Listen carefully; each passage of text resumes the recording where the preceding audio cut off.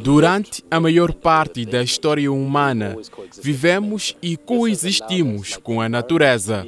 E isto permitiu que o meio ambiente nos pudesse sustentar até hoje. Porque os ecossistemas funcionam essencialmente bem em conjunto. E os elefantes são pilares muito importantes nos ecossistemas, tal como os humanos. O Alona Cerularo sabe do que fala. Nascido e criado aqui na região do delta do Okavango, é agora o coordenador comunitário de extensão e educação de elefantes para a África. A instituição de caridade que está empenhada em proteger os elefantes em vias de extinção tem o prazer de ver o seu número crescer. Tem sido um desafio. Todos os habitantes locais têm histórias sobre encontros próximos com estes animais selvagens. A comunidade está situada numa rota de migração de elefantes a caminho dos bebedouros. Estamos mesmo junto ao rio. Quando os elefantes chegam para beber, dependendo de como o vento sopra, cheiram as nossas colheitas e vêm e comem-nas. No passado, os aldeões costumavam queimar malaguetas para afastar os elefantes, mesmo dormindo nos campos, para manter os fogos durante a época da colheita. Vi o primeiro elefante aqui há cerca de 35 anos e o número tem aumentado ano após ano. Mas a agricultura é a nossa principal fonte de rendimento e é também a nossa paixão. Por isso, continuamos a cultivar. Não desistimos apesar dos conflitos com os elefantes.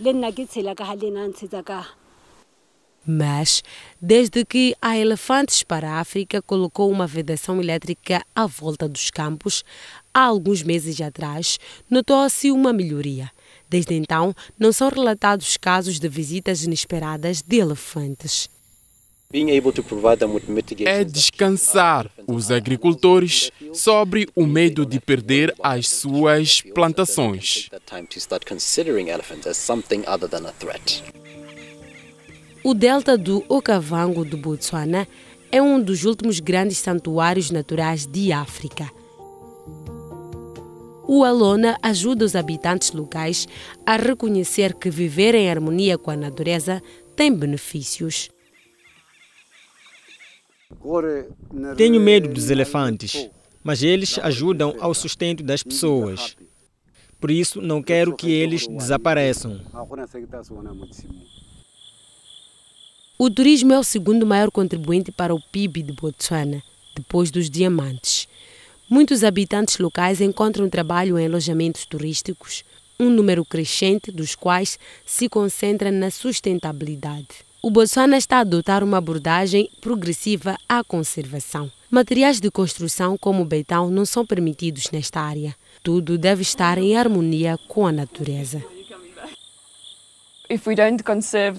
Se não conservamos isto e não trabalhamos em conjunto com a comunidade, não haverá vida selvagem para os turistas virem ver. Para incutir nas crianças uma paixão pela conservação, o Alona visita frequentemente as escolas.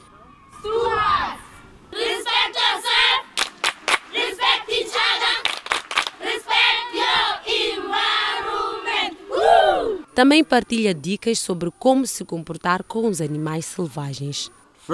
Certifiquem-se de que não estão no meio de um grupo de elefantes.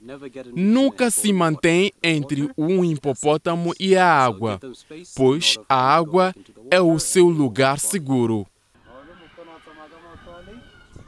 Grande parte do trabalho deste ecologista envolve a sensibilização da comunidade, mas ele também passa muito tempo no terreno. Existem mais elefantes no Botsuana do que em qualquer outro país do mundo. São cerca de 130 mil no total. Os elefantes são animais sociais, mas como é que eles interagem? Uh, Estamos a tentar construir uma base de dados que nos ajude a analisar as interações sociais entre os elefantes. Funciona basicamente como uma rede social.